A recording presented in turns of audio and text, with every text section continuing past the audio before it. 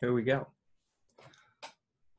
All right. Hello. Welcome, everybody. Welcome back to um, our, our, my video channel here on YouTube. And today, in this conversation, um, I have a special guest with me, Jason Corwin, who will introduce himself in a moment.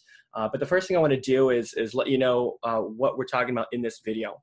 Uh, today, what we're going to be discussing is the importance of tipping and off-speed shots, um, how to do it effectively, and more specifically, we're going to try to dive into uh, some of the misconceptions about um, how to develop the tip shot, how to teach it, um, and we'll cover some stuff uh, that we typically see coaches all across the country talking about, um, and and and maybe kind of show you how what we commonly think about tipping and, and what to teach is not exactly um, what actually happens in the real game and uh, and we'll get into that. So if you're interested in um, in that, if that's what you're here for, then stick around and uh, be sure to watch through the uh, entire conversation.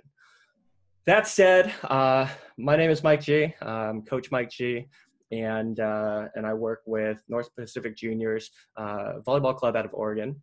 And today with me, I have a friend of mine who also coaches with us um, and also coaches college, Jason Corwin. Jason, hello. Hello. Thanks for having me. and uh, so I said, coach uh, Northwest Christian University out of Eugene. Uh, we are going through a name change, so a little plug there. Bushnell University after July 1st. Um, and uh, have a privilege of uh, coaching at uh, North Pacific Juniors uh, volleyball. Um, had the 15s groups, pretty special group, and uh, last year uh, too bad the uh, Susan season got cut off a little bit, uh, but uh, uh, being able to coach for North Pacific and and have conversations with you on how to be a better coach and and I see this as an opportunity right now. Thanks for having me. Awesome. Well, thanks so much for for taking the time to to chat with me.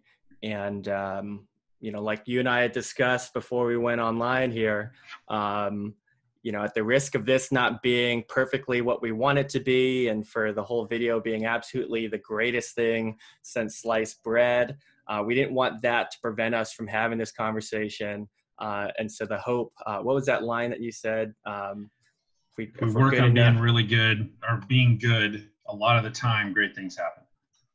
So, with that being said, uh, we're, we're aiming to be be good uh, with our conversation and and video content here. we hope that you find this useful. Yeah. Okay, so the first thing I'm going to have to do is probably share my screen here. And uh, we are going to start with this video here. Share screen. Optimize screen, that seems like a good thing to do just going to share my entire screen just in case. It makes it easier. And then hang on one last second while I put my show video panel. All right, hopefully that gets our, our face on there. All right. How's it looking on your end? Looks good. Okay, so I went full screen here. I don't know if that's that's going to help. Okay, um, first thing first, uh, I want you to understand that we're going, oh, I want viewers to understand that in this video, we're looking at uh, some elite level, uh, international level, professional level men's volleyball. And I, I, need us all to appreciate the fact that um, a lot of our athletes, especially my athletes, right, working in the 18 and under um, juniors volleyball, we're not playing this high above the net. We don't have the same kind of um, hang time and, and uh, point of contact 10, 11 feet off the ground. Uh, but one thing that I've, uh, I know to be true is that fundamental movements look the same regardless of your gender or age um, or, uh, or, or, or age. Okay. So when we're talking about, um, you know, drawing the arm back, uh, arm prep before we tip, um, approach footwork, things like that. Um, I, I want everybody to trust that uh, that it's it's applicable to uh, all ages um, and male or female. So the first thing I guess I want to address is this idea that you know the approach should always look the same. You want to sell uh, your your approach as if you're going to go up and hit it hard, um, and that's one thing that I often hear coaches talking about. I often see in, in tutorial videos. And the other thing that I always th- seem to, to to see is that your elbow has to come all the way back, and you really want to draw that thing back, whether you call it the uh, Zeus position or um, you know, Jason, I don't know what terminology you use for arm prep and elbow back, but um, but you get the point. And I think what we're trying to get at as coaches there is we want you to be deceptive um, and not show the tip, and that is 100% in agreement. I'm in agreement with that.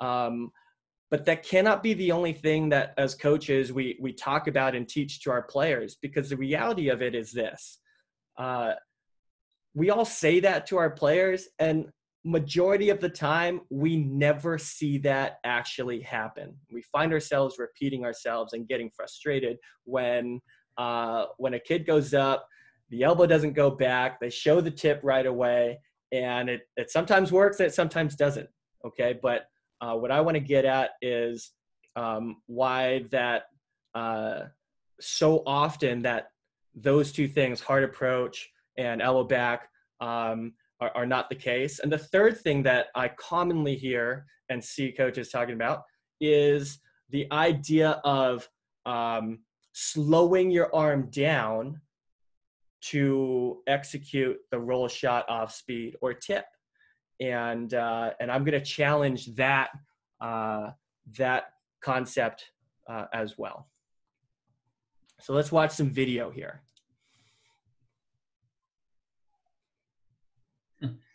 Sandman. it's the first person I thought of when you gave me this topic. Really? Yeah. Yeah, absolutely. so good at it. So yeah.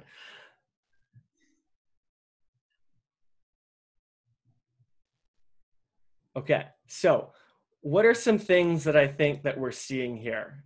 I, think that I'm seeing a degree uh, to the best of their ability, maybe in the situation, um, to be deceptive, to do something in their approach, their movement, to uh, hide their true intentions to tip, roll shot, and off speed. Uh, would you agree there? I know we've only yes. watched a few clips. One yes, thing absolutely. that I one thing that I want to point out here is that a lot of times we tip out of necessity. Okay. Yeah. So somewhere along this approach, maybe here, um, as a hitter, we realize, uh oh, the timing, positioning, relationship here is off. You know, notice how the ball is midline or behind the attacker or yeah. and up behind the attacker. I can't bang this ball. I can't yeah. drive this ball down. Um, maybe I can't even see the block because now I'm looking up and behind myself here. And so in in situations like that, you know, we're not necessarily in total control of um, the fact that you know what we we have to tip, we have to roll shot here. Mm-hmm. Second thing here is I hope, and I'll just let the next few clips play out again. Is I want you to notice how um, the arm does not start fast and then slow down. Okay, so when it gets into that, these these elbows get into this open uh, hitting position. We don't start off seeing this ballistic, forceful, you know, torque and initial arm speed followed by a deceleration. Uh, and the reason we don't see that is because uh, I don't know that our arm is capable of starting out uh, so aggressively and explosively, uh, and then you know having some sort of gradual braking or slowdown. It's kind. Of, I think of it like this: if your car is driving along, you know, at, at a steady speed, and uh, and all of a sudden you have to stop, like you, you you typically slam on the brakes and and and come to an abrupt stop right you don't always get that gradual oh the light's turning yellow i'm not going to make it i better ease on to the pedal yeah. Um, that's not how uh, it, it, works here with with off speed and roll shot. So notice how um, you're going to see an arm that is not slowing down. I think what it's doing it's it's it's just moving slower, and sometimes it's even speeding up. Uh, even though we're not um, going full force, full speed. So, you know, to the viewers, let's see if you catch that.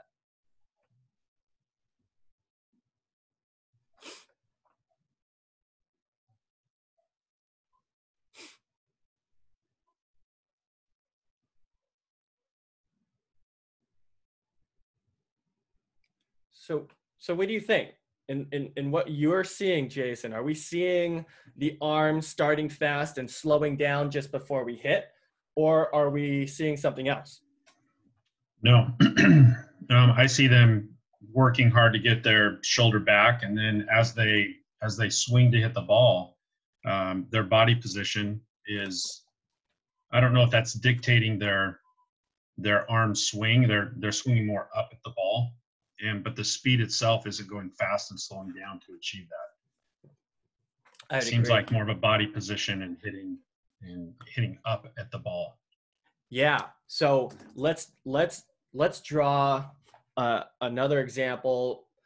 Uh, the short serve, right? Okay. If we're Mhm. talking about a standing float serve, and we want a kid to to drop it down there short, um, one of the things that we find is that the ball needs to be tossed back towards the server or we need to step more underneath the ball to serve it up and short would you agree Yes. and and i think that's what we're seeing here with these off speed and i see that all the time and i and i think it's one of the um, advantages or maybe even necessities to position ourselves more forward or under the ball so that we can shape that ball and and start it upwards um in in in, in like we're seeing here in these examples. Is that what you're kind of getting at? Yeah, you know, and I I watched the first one and uh, with uh, Taylor Sanders, and I wonder because the middle bit, he's got a one-on-one block, and you know if you've watched Taylor Sanders hit, he gets a one-on-one. You know, it, it's al- it's almost unstoppable, and but he's not. And so, at what point does he make the decision that he's going to versus a one-on-one block do an off speed? And uh, you know, we is that because the set is not at three feet, but it's more at five feet that dictated his action, or is it because he's been pounding the ball super hard? They're on their heels, and he's making a choice to make a shot that he thinks is going to score uh, Yeah. versus a one-on-one. So, that's that's such a insightful um you know thought there because when i was clipping these these video uh these these putting this montage together i did notice that a lot of the tips and roll shots were coming off of um free ball situations actually Hmm. uh and so you know those are times when you think hey if we're getting a free ball let's ram it down their throat right. and, um, and and I think uh, there's an advantage uh, strategically there, right? Because the defense is certainly going to think, oh, they're they're going to crush this, and and now, oh my God, my middle committed, and I'm one on one with Taylor Sanders, like. You know, let me They're dig bracing. in here. They're bracing exactly. so uh, to take advantage of that, and um, you know, at your question, at what point do they decide? Does a hitter decide? You know, it it varies, right? It Yeah. uh, it, it totally varies, and I think hopefully what we want to encourage and, and allow our athletes the uh, uh, the opportunity to get at is um, you're gonna get you're gonna make these uh, these decisions way faster than you're capable of consciously breaking it down and thinking through it you know Right. and, uh, and and I think that's the fun and the beauty of sport and chasing this state of flow is that um, you know we want what we call this perception action coupling, right? Like what we Mhm. see and perceive will then dictate how we act and respond and what we execute. And as coaches, you know, um, Kendall and I were kind of talking about this in this last video I put together.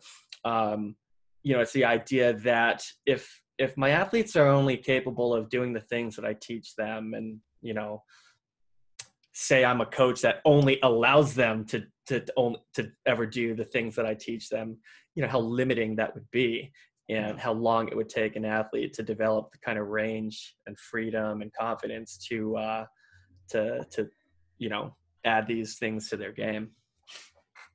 Yeah. All right, so let's keep uh, we're, we're we're about this part here. Okay.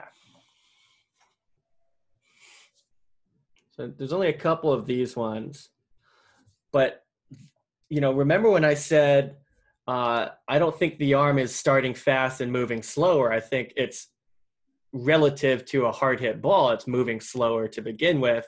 And at other times, the arm is actually speeding up. Yeah. Um, and so in these two particular clips, uh, I, I, chose to, to bring these in here because you can see it's a tip, but the arm is moving, is accelerating. Watch. Do you see that? Yeah. slow to fast. And and it's situational, right? It's like the ball was out in front, uh, couldn't quite reach it.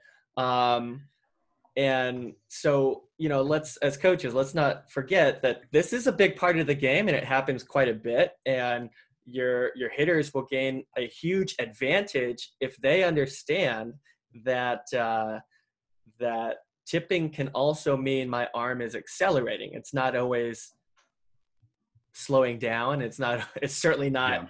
going fast then slow. so the situation is dictating the action versus, hey, we have a common.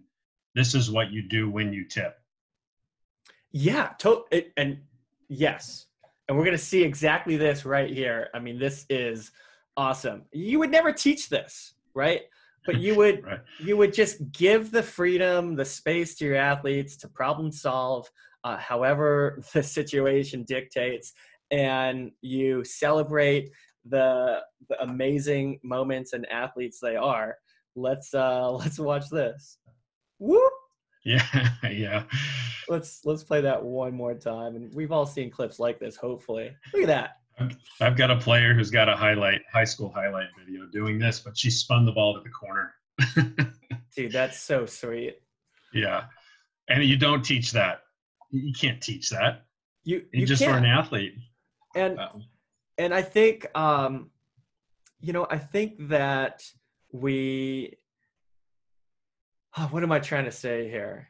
You know, it, we say things like we can't teach that and yeah no don't please don't waste a whole lot of time trying to teach those things yeah. Uh, but what we can teach is uh, we can teach ourselves that when we're designing our practice environments um, we can design in these opportunities or affordances for athletes to um, to come up with those kinds of movement solutions yeah. right? Here's the problem. My, the problem is this ball's going to go out and behind me. And if I don't want to get blocked or make an error, I need to do something. I need to do something here.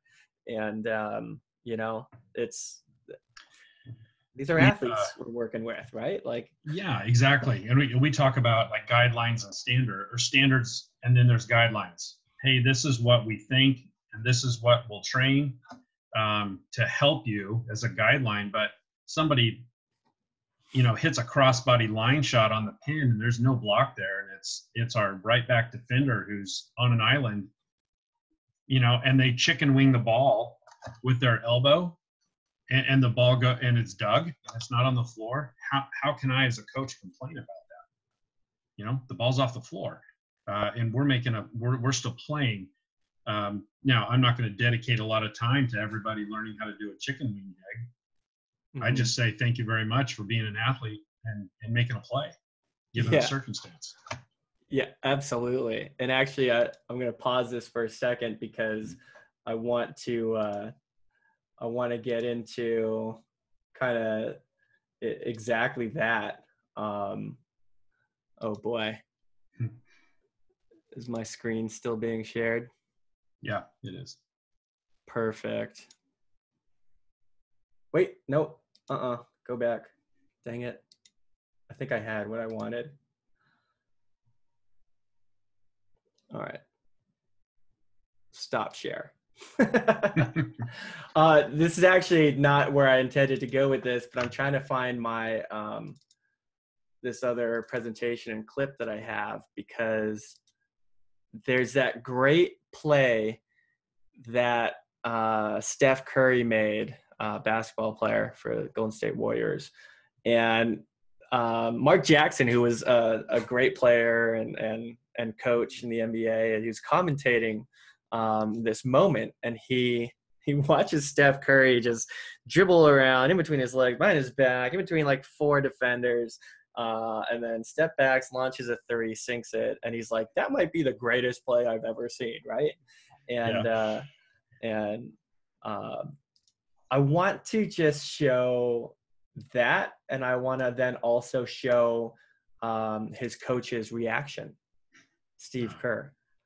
And I'm just praying because I've set it up here. I'm just praying that it's here. Okay, I have it. This is my updated version of the uh, CLA PowerPoint that I did. Okay, are you seeing my screen? Yes. Awesome. How do I do this?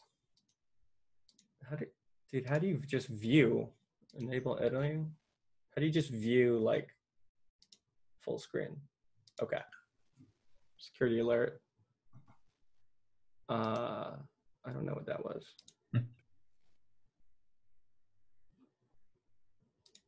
Play.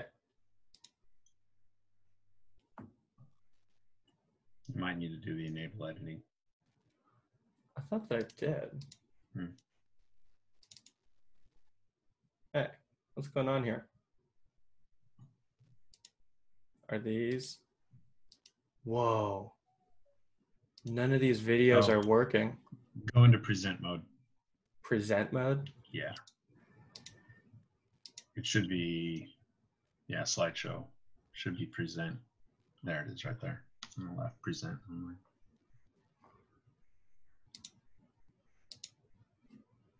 Enable. Hmm. Connect. I don't know. Yeah. It's not showing the link because it's not in present. No. All right. Well. Okay. Anyway, we'll come back to that later. But uh, the point there is, um, Steph sinks the shot, and the cameraman pans to Steve Kerr coaching on the sidelines and catches his reaction, and um, and it's you could see him going, "No, what, what, what are you? Oh my gosh, this is crazy!" And uh, he throws his arms in the air, sits down, and you can just see this, you know, smile on his face from ear to ear. And yeah. it's it's that idea that uh, you know there's just some things we're not going to be able to control or coach, uh, yeah. uh, and that's okay because when we give them the freedom, the space to um, really explore and demonstrate their own athletic capabilities these just these remarkable moments can happen. Yeah. I mean those last two clips you know as the they're almost broken plays. One is a, a one hand set that you know is not going to have a lot of height to it. So the hitter sees it speeds up his approach. Almost it's not even really an approach it's this hurry up and run to the net. And uh, he jumps and and his hand you know contacts the ball as soon as he as soon as he can. There's nobody even there. Um, mm-hmm. and then the next one is the the ball's dropping on the middle, and he's got to get his hand to the ball fast. Uh, and so he speeds it up, and he and he, he's able to make a play. Oh, what a dig there! right. Look at this. What about that? Yeah. Oh what, wow. Yeah. What is up with this? Uh, I'm not. I'm certainly not seeing a full approach. I'm not selling the hard hit. Yeah. And and I, I just don't want coaches to miss this. I don't want them to miss the fact that these moments, these situations, and these movement solutions present themselves all of the time. And when I think back to myself as a young coach, I ignored them. I ignored them because they weren't things that I could coach. They weren't things that I thought were, um, you know, important for for players to learn. And nowadays, I find out that like all of the things that I want to teach them happen so much less than all of these other things, these nuances that are way more frequent. And um, you know, if we don't want players always looking over to us for all the answers and being distracted uh, in between rallies and and looking at us or their parents like for help or the answers yeah. then we got to create these um, you know i'm going to say these simulation environments where what they're what we're simulating for them what they're experiencing represents the real thing I mean, uh, I keep talking about um, SpaceX and the um, and Bob and Doug, the U.S. astronauts that just went into space recently, mm-hmm. um, and the the idea there is I'm, I'm now I'm losing my train of thought uh, where I was going with this, but um, it's the idea that um, gosh, I totally lost my train of thought. Why am I talking about Bob and Doug and SpaceX? Um, I think maybe because it's like they're going to find these these answers, these solutions to these age old problems um, in in new and different ways if we allow um, the space for that. Oh, and as far as the simulation goes, uh, they uh, one of them was quoted saying, you know, congratulations to the SpaceX engineers because the simulation was exactly like what they experienced um, in in the launch and yeah. uh, and and docking and they just said bob and doug were just you know saying hey like, what a great job that you all did um, because we we couldn't have felt uh, more prepared for what we had to do and that is just awesome mm-hmm. I, but that puts a, a little bit of pressure on coaches here in accepting um, players execution of their own athleticism. Uh, and, and, and that starts in practice. I mean, I, I've done this and I've seen this uh, a lot where I, I, think you can, you can go a long ways to inhibiting an athlete's expression um, just by saying, Hey, I know you achieved the result, but you did it the wrong way. Um, and I, I think there's got to be a balance between, you know, yes, we have some standards and yes, we have guidelines. Um, and uh, yes, there there's value in having everybody on the same page. Um, but I, I think what we're learning or what I'm learning is that it can't be at the expense of the athlete being an athlete and using all the collective experience that they're bringing to the table, especially at 18 to 22 years old. They played for a lot of years for a lot of coaches and collected a lot of reps.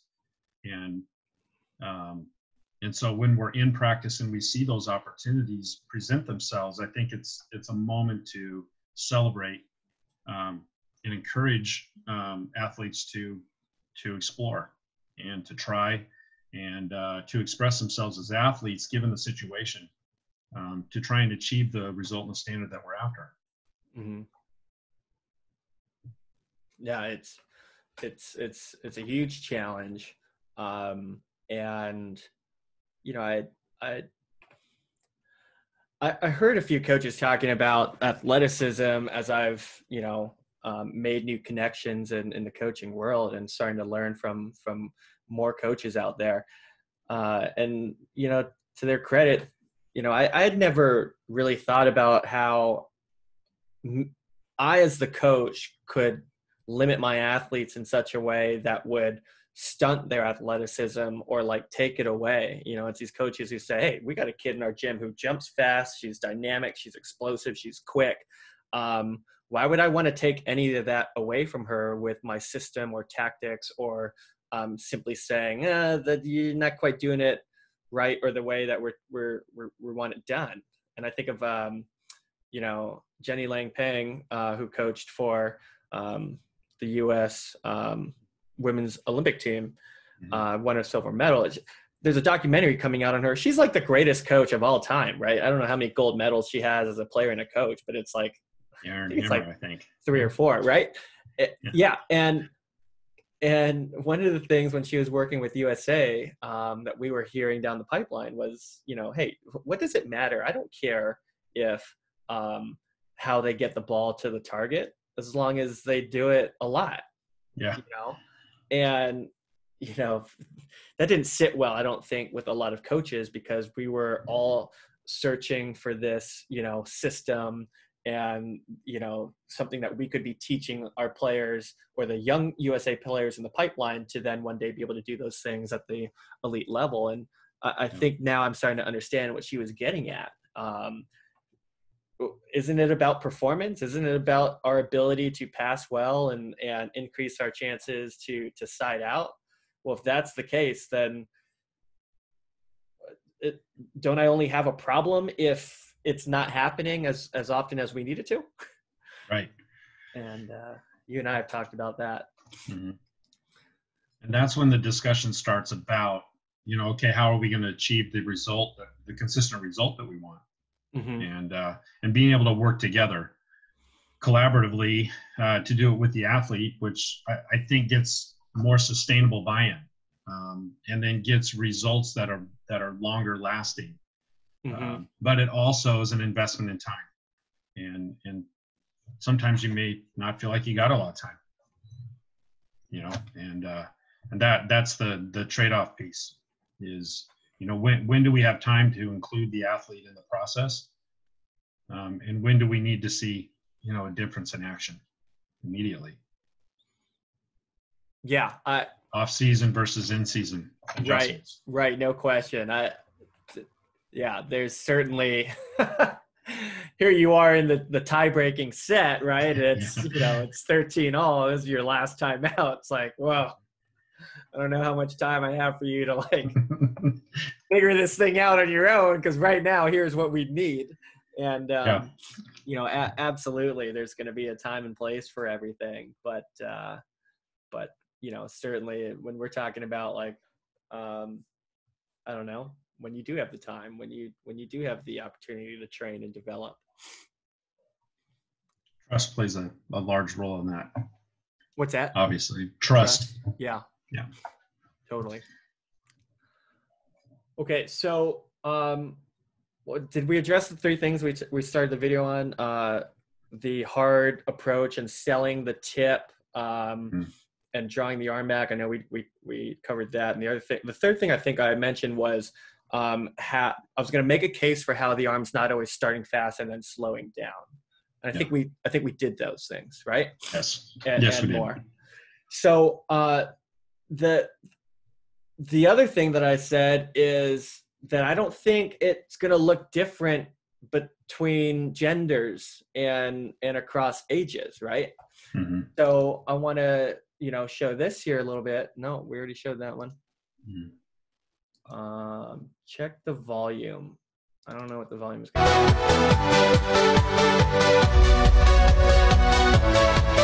be.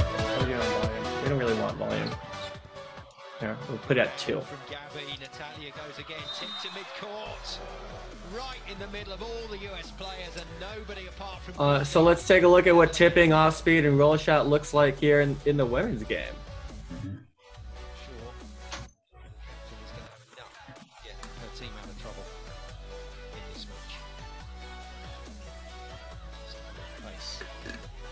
gonna you know, that's kind of a good one. Uh, a, Yeah. a bit of a hard approach or relative, right? And that's the thing, right? When we talk about these situations that are going to dictate things, um, a lot of times things are going to be relative to what uh, affordances are are there for me in that moment.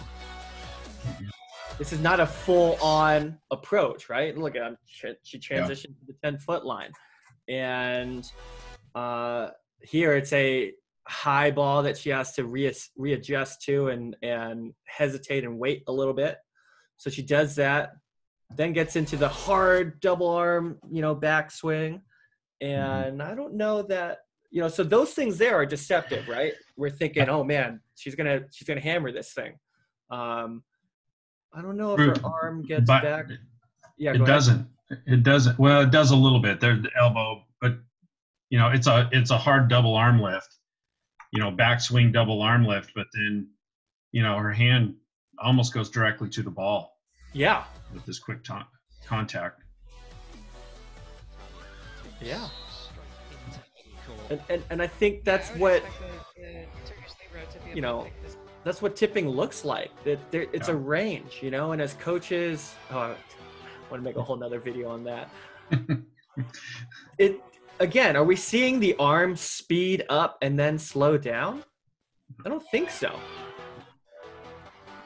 And and I think the reason for that is is should be obvious. It's if you try at, at what point in your effort to be deceptive um, let's talk about like basketball and and football or rugby you can only go so far when faking to go left. At a certain point you're going left. You're no longer faking it. You know what i mean? And uh and if you get to if you cross that line you're not going to be able to fake and go back the other way certainly fast enough or or quickly enough or whatever. Uh you know I, I don't know if this is a great analogy but imagine if you're in a car chase right? I don't know why you would be. You shouldn't. But you're going at these high speeds and you're going to fake like you're going left and then you're going to try to turn right. Your car could go out of control right? If Right. you if you go left and then abruptly go right. You're going to spin out or flip over. Uh, and the other side okay well if if i have to turn right well i can only fake and pretend to go left so much uh, before I end up going that way. And and at that limit, at that point, I have to turn right. And unfortunately, it may not be all that deceptive to the cops chasing me from behind. Would you agree? Agreed. And and that's what I wanted to to point out. It's the why do we get so frustrated when a player tips the ball and the opponent digs it? It's not because of the technique, uh, you know, and they didn't go fast to slow. Um, it, it has to do with uh, with other things. Like the the situation was so obvious that a tip had to happen, or um, or the defense had to be you know happened to be lucky that the ball was just tipped to them, whether they're in the right place or right, or not. You know. Um, I think part of it has to do with alignment too. I mean, Brazil's in a rotational defense there, so right back is just sitting there, and as soon as you know that she's already released to go get the ball in that spot um, on on that previous clip. Is it this one here? Yeah, this is it here. So she's sitting there already. Yeah. Um, and so defensively, it's easier for her to make a read. But if they're not in rotational defense and right back is, so I think defense plays a, a role in success and failure as well. And sometimes we don't control that. I mean, look at the difference there. Mm-hmm. Our right back is way way deep, and so this is the is off this is what they're giving up right now. Yeah. yeah. And so you know we we talk about you know have to want to. Um, I have to because the situation that you know I'm I'm not on time.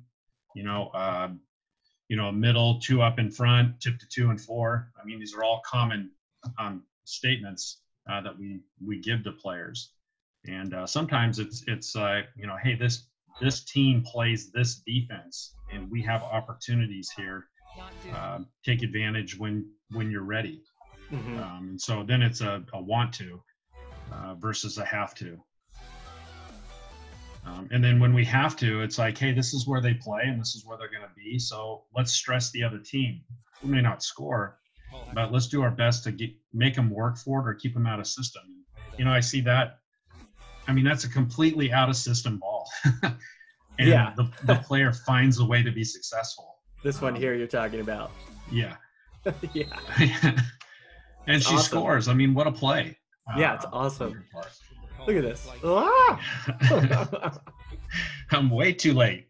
Uh, you know, and that that that's a that's just a good play. And talk about putting stress on the defense. And then here throws it at the top, throws it at her hands, and then gets another opportunity to play. Uh, Mhm. So it's just smart plays. and we're, they're not disguised there. It's not. It's not disguised. The the elbow wasn't getting back. Um, you know, it's it's situational. Where's the clip? Is it this one here? She throws it. Yeah. So the the elbow never got back, right? And um, and it can't always because if her elbow goes any further back, uh, her hand won't get to the ball in time, and and if it does, then it's going to be moving a whole lot faster than what we're looking for in tipping and driving and, and throwing the ball down to this short area of the court. Yeah. And I think that's another, I'm, I'm glad we're, we're talking about that now because, you know, in the men's game, they, they get up, they drive, they have this hang time, they can be early and they can wait for that ball to catch up to them. And a lot of times they're going to end up hitting on their way down or shotting it on their way down. Yeah. And it's not just a men's thing, and we're seeing that here as well. But my point is, um, your arm must move slower to tip and place the ball shorter. And mm-hmm. if we are going from this this uh, this traditional um, strong open hitting position uh, to make contact with the ball, hmm. our hand might be moving way too fast. And what you find, I think, and what I see uh, in, in my own gym with young players learning to tip, we find them doing that uh, deceptive open, fast and then slow, and that abrupt slowing of the arm results in a tip in the bottom of the net. Yeah. And and sometimes the ball doesn't even make it to the net. Yeah. Okay. So so and you've seen that. You know what I'm mm-hmm. talking about. So I'm just gonna keep playing this. What you if you have ideas that you want to. Turkish players try and get there. Kalak the only one of the three to step. None of them. Yeah. Uh, the other thing I notice is they're at the they're over the block too, and that's a and I don't know if we're going to get into the how to um, but you're noticing that these balls are going over the block and they're not tipped over the top of the tape uh-huh. into the block. And uh, it drives me nuts. Um, and that's the part where I'm, you know, if we're gonna tip, let's let's get it to a spot that is gonna stress the team, not not put it into the forearms or the trunk of the block, mm-hmm. um, or not give yourself an opportunity to stress or score. Yeah, the, the third video that I have queued up for us to watch um, is going to get into um, more of the importance and the effectiveness of tipping and how a, a tip doesn't always have to score and hit the floor for it to be effective and for it to set up another um, scoring opportunity for your side. And yeah. um, and I think uh, you know I think I, I feel like I see this a lot and I don't mean to sound like this happens all the time, but I think it happens enough where, you know, coaches are going to get on players about tipping uh, when it, you know, as if it's like some weak sort of scared, um, you know, I'm I'm I'm scared to to hit the ball. yeah. And we don't have to get too far into that. But by the way, just take a moment to give credit. Uh, this video came from um, this YouTube channel, Titans Volleyball, and I think they have uh, multiple channels. So uh, if you're not already familiar with Titans volleyball, there's Titans women's volleyball uh, on YouTube. There are thousands of videos up there that are just um, amazing content, and um, and World Volleyball uh, as well. I, think there to our conversation. I don't want to lose this point in my head because I'm yeah. getting old, but there's I think there's a correlation um, between a, a, the point at which you contact the ball to tip. Um, and if you're, and as we talk about that, if we delay by trying to work so hard to disguise the this tip, we lose the opportunity to actually be effective because we're we're losing that timing where our hand gets to the ball at a better, a higher contact point to be able to direct and, and be able to tip over the top of the block without it being really up and down, giving the other team extra time to react and go get it. Um, yes. And so I, I think there is a, a, direct correlation between between the trying to disguise and and the opportunity to get your hand to the ball as soon as as soon as you can or have to uh, to be able to put the other team out of system. Yeah. And and I just want to throw out there, if you're listening to this, you know, uh, like podcast style or whatever, this is this is the moment in the podcast where you back it up a 30 seconds to to play that part again.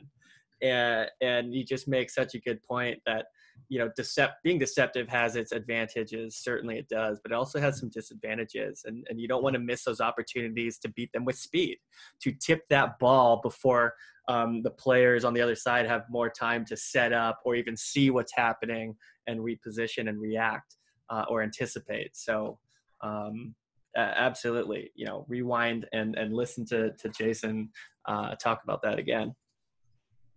Okay. Um, how are we doing on time? We're doing okay? Absolutely. Okay.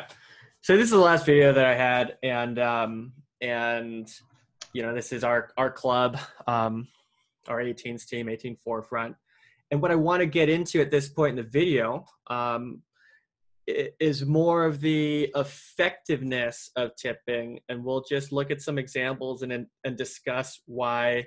Um, what I think it's important, especially when you're working with uh, with juniors level uh, to to not have this idea that tipping is just your players being scared and sometimes they will be scared and that's okay all right we don't have to like beat them up for that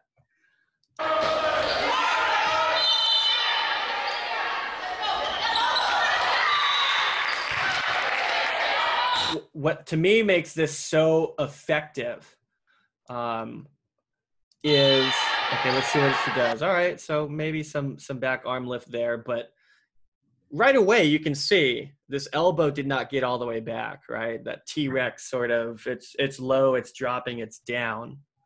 Um, can I frame by? What makes this effective is that it's placed in this open area that is essentially equidistant from all floor defenders and, look at that. Like we're all social distancing equally from this ball right now. And and it's so effective because that's what makes it unclear as to whose ball it is. Or to say it another way um, there's some innocent bystander effect here right? Mm-hmm. like uh, someone else someone else is going to go for that. That's someone else's ball. Yeah. Uh, you, you know what i mean? Oh yeah like it, you can almost see it on their faces from this far away. Yeah. yep. Great tip I'm I'm there, by the way. Those tips are oh man, doesn't your heart just skip a beat when you see those? They're so yes. hard to do. And um, look at that. That is like perfectly timed and placed from a veteran player. Okay, so here didn't score, right? right? But Jason, tell us why this was effective. Because we we get a predictable play, and it looks like a, a little down ball opportunity. We're ready to play defense. It's almost as good as a free ball and then we we're pushing we're making the other team make a play. And in this case they didn't. And so we scored on their error because we stressed them on this play. Mm-hmm. Um, yeah. Um, took out their outside. Okay. Yeah. now she t- fortunately for us right she totally mishandled that. I don't know that you're going to get a player shanking the ball like that every time. And i think you know let's give her credit. If we did that again it probably would be a good pass but there's some examples that we're going to watch here um, that demonstrate why even when the off blocker passes a perfect ball, why that can be effective.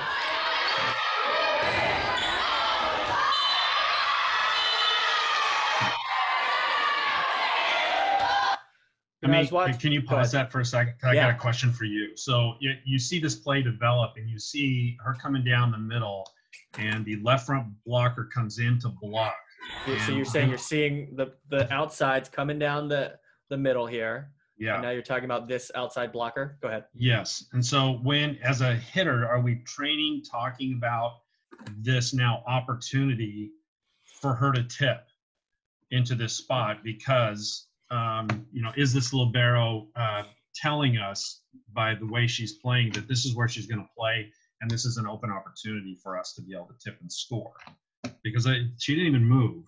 Uh, and there's a lot of space between the blocker and that libero. Yeah. Is that something we train and talk about? Yeah, a- absolutely. I, I think that's where you, you know, you build into these uh, these portions of your practice or video sessions where you can talk about the nuances of, um, I guess, strategies like this. You know what I Mhm. mean? And um, and, and I think it's what I, I think we need to get at is uh, we can't always be so focused on the technical training and development of what we generally think uh, skill acquisition is. Mhm. Um, because what I'm learning now is skill acquisition is is not so much someone learning how to do this particular skill in this particular way, this technique. Skill acquisition is about an athlete's development of these uh, uh, highly adaptive skills that are are are permanent and and durable and consistent through time. Um, and and and it's not so much this uh, you know draw that arm back, deceive them, mm-hmm. and and you know fake the the hard hit before you tip it. Well, I think this illustrates the point that there's she's not being deceptive because she hasn't contacted the ball yet, and her shoulders forward, her hands ready to tip, and that libero hasn't moved. Yeah, she like goes up showing the hand right away, does doesn't she? Yeah. Yeah, and I mean, and the ball Oh, hits the floor on the tip, and so Oh yeah. It was a it's a great play, and it's a great execution of, of that attack, I believe as well. Isn't this what you were talking about um, a moment ago? Though it's there's this opportunity here. and The opportunity is to to get the ball at a high point and get it to the ground uh, Yeah. before that defender's ready. Yeah. If she were to draw that arm back, look how high that contact point is. yeah. Get up there, Ryan. Good job. And and and drops it right in there. That that's what you were talking about, right? Yes. Because then her only other option really is to is she going to hit low seam into the block or is she going to go cross body to the right back defender? Yeah. And I mean that, that's a it's just a great play and a good contact point. It's a good attack option. And it, so to get to your point as well, it's like this isn't uh, hey you were afraid to hit. Um, this was a tactical decision that she executed really well. And for coaches that are wondering, how do you? Okay, well, okay. How does NPJ teach that? You Mhm. know, Mike, Jason, how do you? How, what do your drills look like? Well, one of them looks like short court or or narrow, skinny court, two on two, three on three. Sometimes it can look like half court, more on more, or even full court.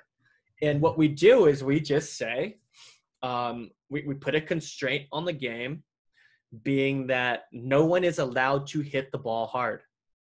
Um, and it's subjective, of course, but what our players, what we teach them is, hey, fair is fair, right? Like if you feel like, you know, someone just drove that ball a little too hard, right? Like like in any other pickup game, right? Call your own fouls or whatever. if you feel like that was not um, part of the rule set, then we'll just replay it, no problem but we put this constraint on there so that they're forced to look for other ways uh, to get the ball to the ground. And what what shrinking the court space often helps is it makes it even harder for them to score by tips and roll shots. And eventually, what the game uh, teaches, what these kids start to discover, is that the only way to score consistently is to get that ball quickly at a high point and uh, and aggressively throw it to the ground faster than the, the opponent is capable of, of, of reacting. Yeah. and and that's what our our drills would be designed to you know, do this constraints-led approach that the game teaches the game. We don't have to make a line and toss balls and have them learn those things. Okay, I believe what happened here was we took the setter out. So um, uh, maybe you can't know that this area will score, Mhm. but instead of trying to move the ball more left or more right, you know, uh, drop it to the setter, drop it to a front row player who will not be allowed to touch that that next ball, right? To, to be involved in the way that allows them to score. Confusion, down ball. Mhm. Boom, there it is. Yep. And again, every response from the opposition here is out of system. So there are three out of system balls back, Mm-hmm. and we and then you know persistence prevails, and and we score. Mm-hmm. Um, And you know, here's a kid, our setter. I believe she watches a ton of video, and I know she does. She watches a lot of video. She's always texting me when I'm not uploading our matches uh, Mm. to to YouTube. But I, I I believe she's watching more than that too, because you know we Yeah. don't teach this. I mean, you know, my my question would be, you know, because I, I I I've learned in watching a lot of your guys' film and watching Izzy play is, you know, never to assume that she doesn't know, because that libero comes way inside the middle, and for her to then make the libero get up and come all the way back across the floor to pick that ball up, knowing she has that left front blocker, I'm, I mean, is she just doing something instinctual? Is she doing something tactical? Um, We should ask her, but I think when I Mhm. actually I've I've I've made clips of her progression through a, a, a game, and it is just incredible. Um, she's done a really nice job. Adam, he he runs our offense. He's done an incredible job um, over the years uh, here. And, and to be fair, Adam does work with Izzy on throwing the ball, and I've I've watched them have sessions and discussions on on, how to attack as a setter. That's something that he took on, um, you know, early on when when working with Izzy. So we he, we do teach some of these things, but we don't teach this exact footwork, movement, uh, whatever. Right? We're just planting these ideas we're, we're giving them these these movement solutions these these vocab words for them to go and and and write their own story and um and and be the creators of of you know how they evolve um as as as players. And um and and that's the important thing that i want to be celebrated because we sure love it when players do stuff like that, you know.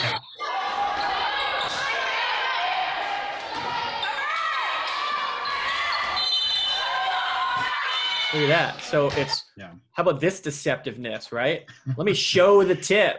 Come on, Yeah. folks, bring it in. Bring it on. Whoop. So, I, I- I think I think we we might feel like oh all this this there's things that are just advanced right? And and we're gonna talk to beginners about the the, the fundamental stuff.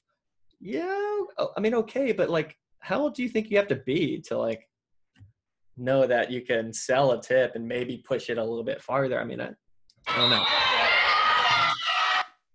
I So- think I think part of that is having the freedom to explore and practice so too, and being rewarded um, for that exploration. Definitely.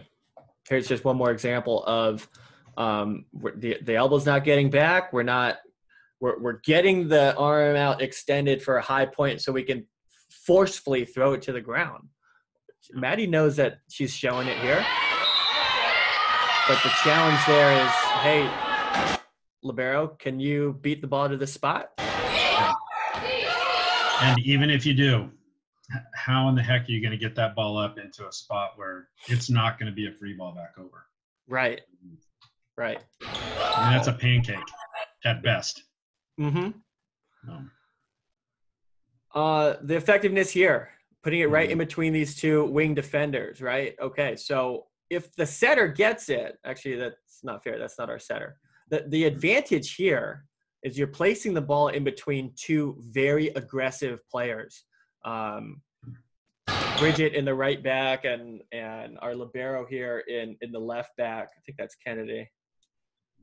Um, we we don't want to get hurt. It's Yeah. human. It's it's human nature, you know. And I'm I, I hate when I hate how I used to say, I'd rather you two collide than see the ball hit the ground because what that what I was saying is I don't care if you get hurt. I care more about the ball getting Uh-huh. off, staying off the ground, than you two bumping heads and and and getting hurt. yeah. You know, uh, someone should have slapped me in the head, and I Hmm. think some people tried to. And uh, you know, I was too young to know any better, and I'm, I'm sure I got offended back then. I've been slapped in the head a few times on that. So, matter of fact, you might have slapped me on the head a few times on that. and we get a free ball out of it. yeah, So, totally. What? Where was this? That's what you were talking about. Okay, that wasn't a pancake, but it's essentially what you were talking about. You got Yeah. the free ball.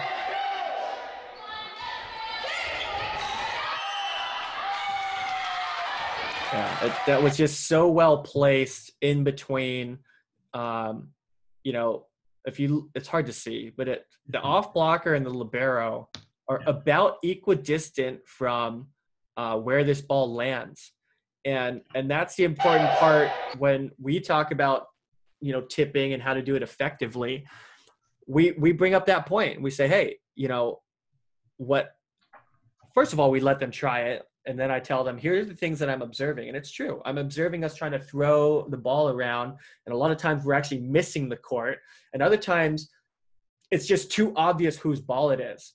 And so instead of many people having confusion over who should be going for it, we end up with this clear, distinct, uh, that's her ball, that's my ball, that's your ball. And now we lose that element of hesitation. Um, and, and also that element of, oh, I don't want to get, I don't want to collide. And, and that's kind of what happens here, right? They both made effort, but that last little bit of I don't want to get hurt and I don't want to hurt my team. And you can take advantage of that. Yeah, Ryan's tipping this last season is just uh, amazing. yeah. And so the last part of this video is effective roll shotting. uh, This is the juniors level.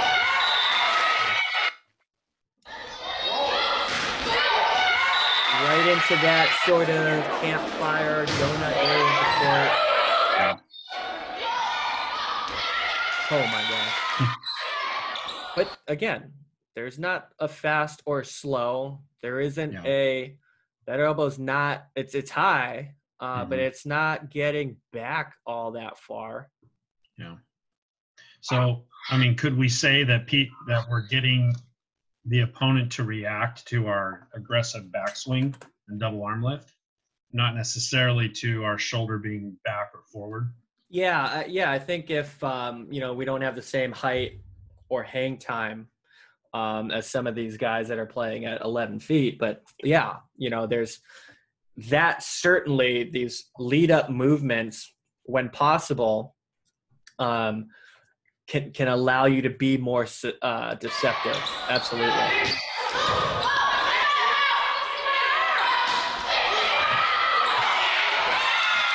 I mean that that wasn't deceptive from start to finish, but it was very effective.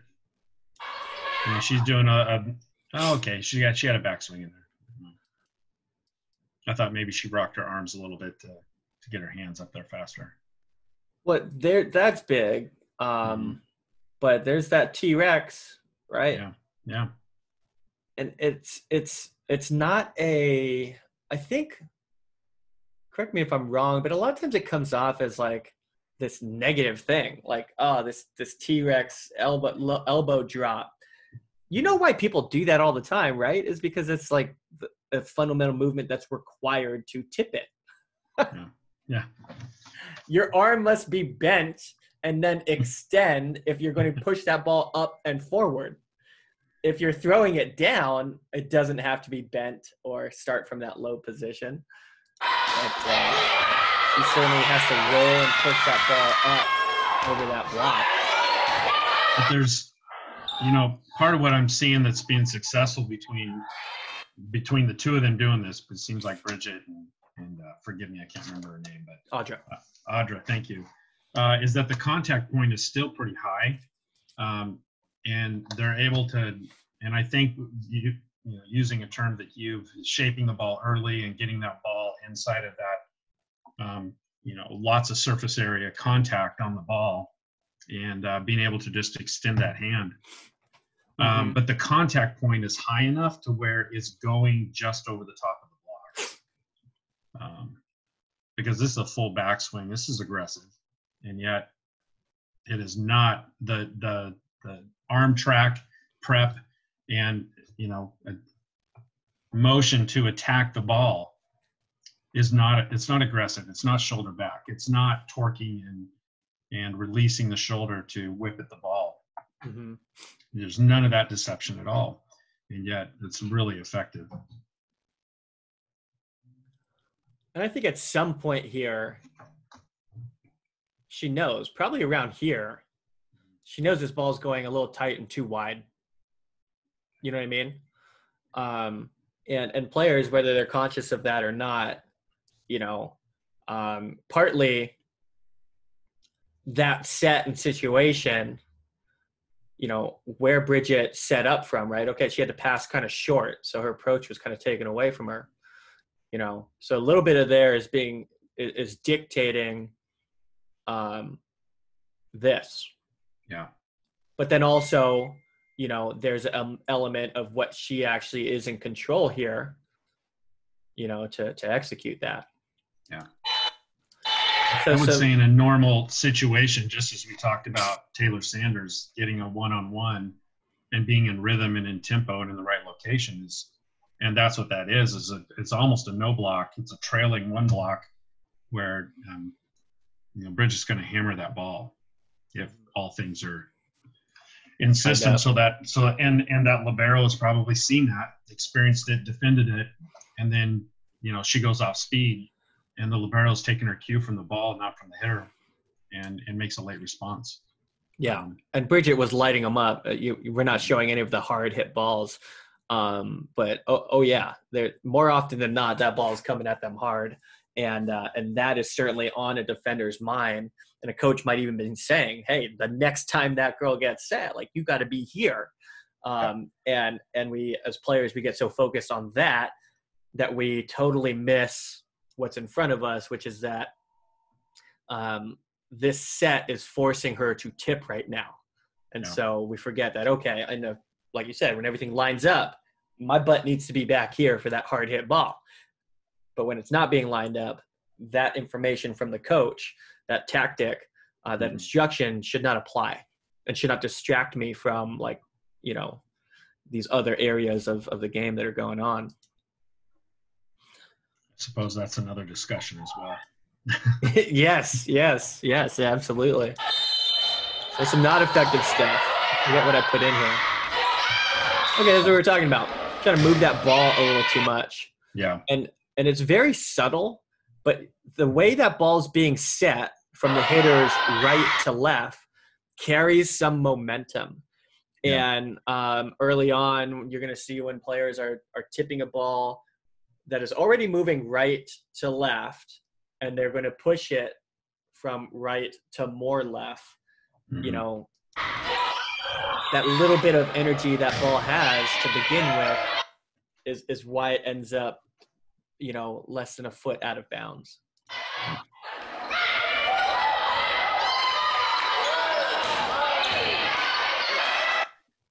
Okay, actually, that was pretty effective. I don't know why that's in this part. It puts puts our defender on the ground. Uh, we dig it lower than this player's shoulders. and uh, Requires Yeah. a pretty incredible play, right, which yeah, is made. So, I mean, you can't argue with that. I mean, that's effective. that, that's that's totally effective. Bad job, man. Bad editor. All right, there there we go. Yeah. So I Right. and I think what this is, it's gonna be hard to see, Mhm. but I think this player is trying to hard sell the hard hit.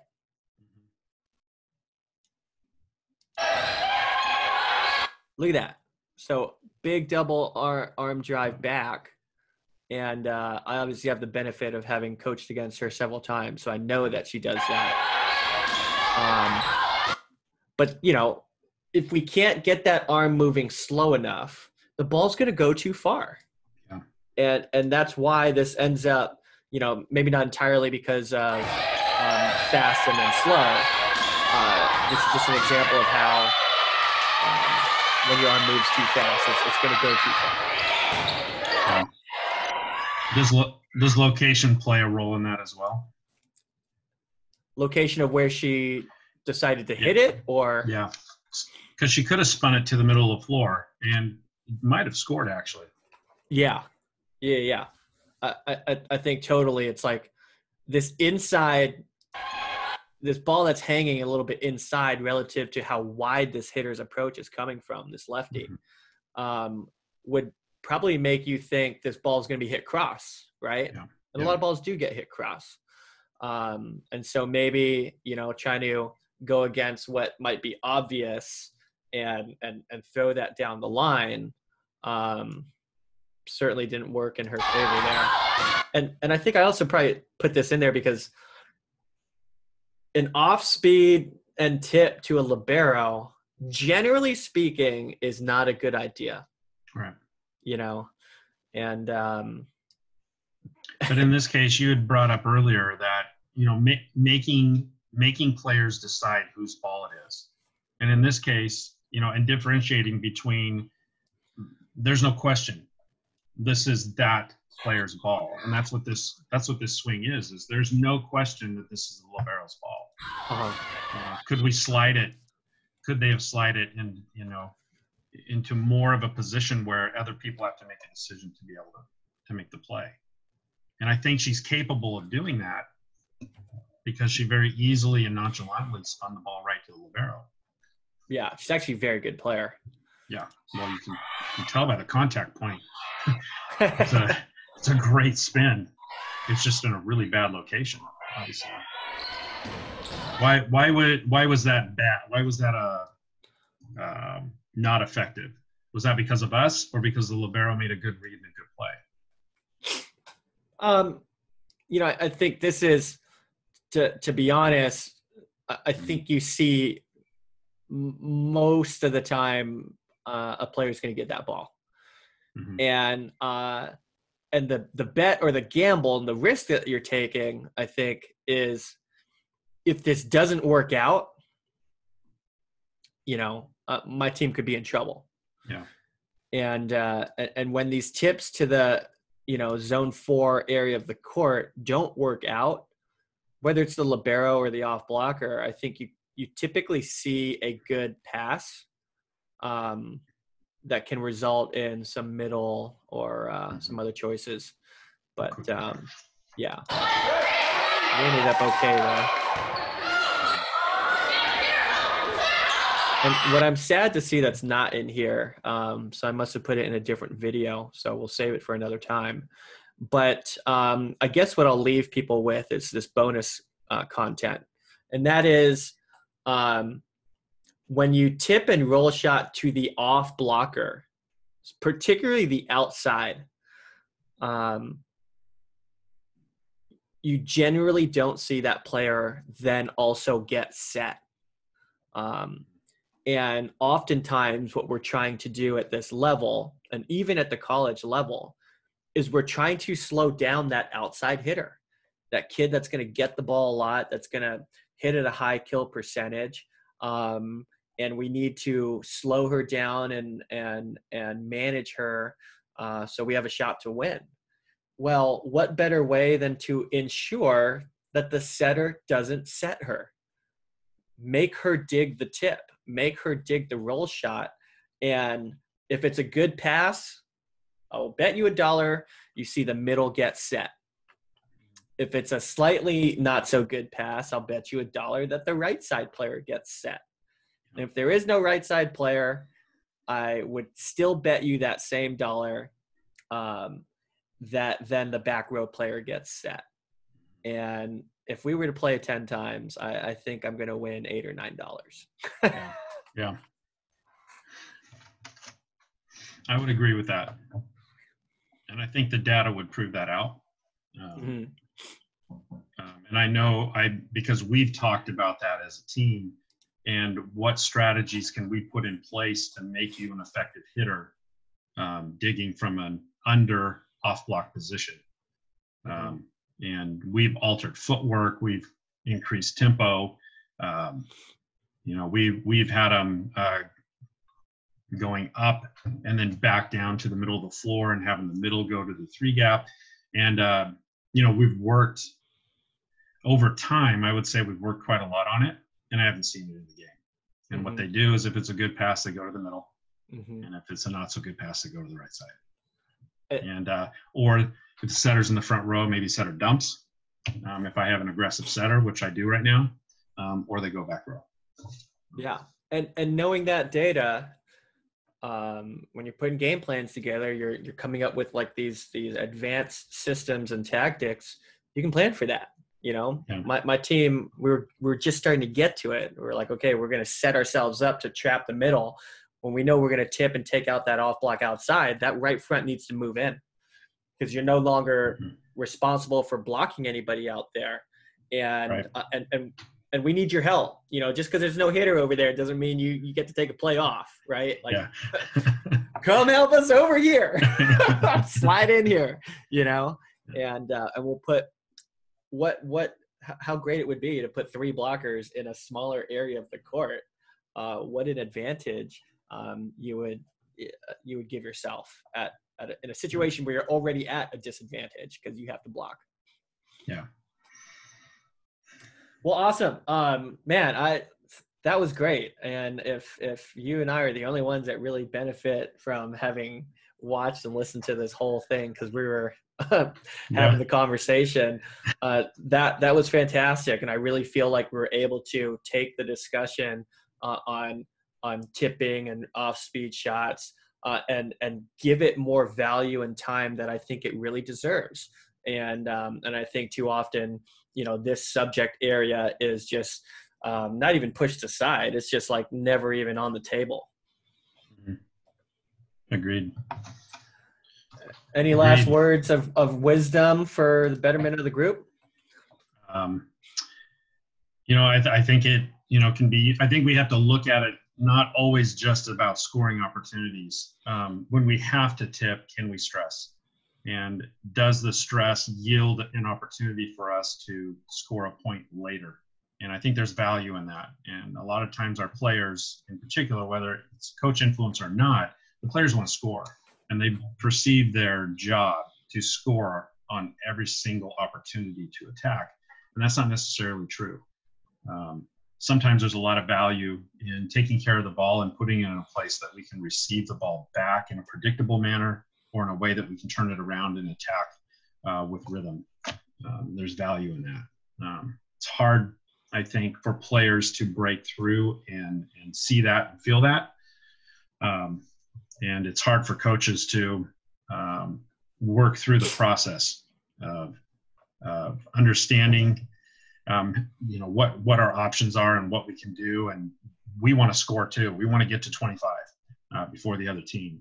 And uh, but uh, establishing that trust and practice with players helping them explore their athleticism to be able to be effective um, attackers. And i think uh, the tip and the roll shot and the off speed shot plays a big role in varying tempo um, on your attack you keep hitting hard in the same spot every single time, pretty soon someone's just going to be there midline waiting for you to hit the ball to them. And uh, unless we vary that, and we've lost matches because of this. Um, and we, we made a big change in the middle of our season last year to really start to practice and uh, reward and, and celebrate uh, off-speed opportunities and effective tipping, and um, but we we made a concerted effort to do that just so we could change the mindset of our attackers. Um, and so I, I, think releasing our players to be athletic and to make plays and reward it when we see it. Um, and uh, you know, for for coaches, I think that's hard, but I think it's necessary. Um, so we send the right message to the kids to to go for it and use all the options available to them. And I think uh, you know what I learned today in, in the tipping part of it is that it's more about you know contacting at a at an appropriate contact point to be effective uh, rather than you know trying to get the shoulder back and and I'm thinking in terms of defense right now, which is a different discussion because I'm always on my players about what are they watching. Um, and in this case, I'm I'm seeing attackers being effective tippers, and they're not bringing the shoulder back. Um, mm-hmm. You know, and yet they're they're still being effective, and and it's about that contact point. So, yeah. Um, anyway, and a it, little bit I, rambling there. Sorry. No, no, that was great. I just wanted to to your point. It's it's like you said, they weren't doing it wrong here, right? Like they weren't yeah. violating some some some hard fast rule, and and they certainly weren't being an exception to the rule. They were actually like, and that's the whole point. This stuff happens a lot, and we're not teaching it or acknowledging it, and we should be. Yeah. All right. Well, thank you so much, Jason. You are the man. Um, and I am just so appreciative of not only you taking the time to to have this conversation with me, uh, but also be a huge part of um, you know what we're trying to do not just with, with, our club but i think more of like what we're trying to do for our region um, and, and volleyball community as a whole. And that is share our expertise um, dive into a little bit of you know what we think is right or or whatever. And hopefully you know spark some engagement uh, some interest from other coaches here in the area uh, to to to join in the discussion as well and and maybe even tell us where we're wrong, you know, um, or where we're right. You know, we'll accept that too.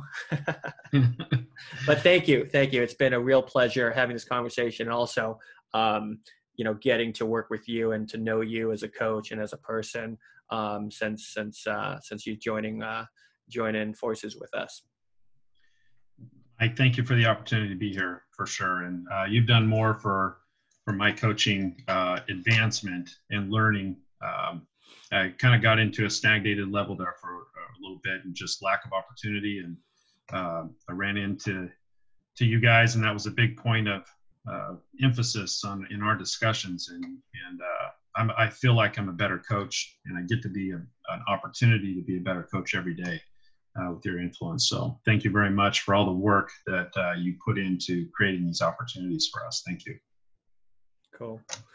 Well, uh, we'll leave it at that. Um, check out uh, check out the uh, the rest of my videos on on YouTube, um, and uh, and also please be a part of the conversation here and and join in and and let us know what you think uh, in the comment section below and because uh, so few of you ever do comment, uh, I usually read all of them and, and get back to all of you. So uh, I will continue to do that. Thanks so much, and uh, uh, we will we'll catch you in the next one. Have a good day.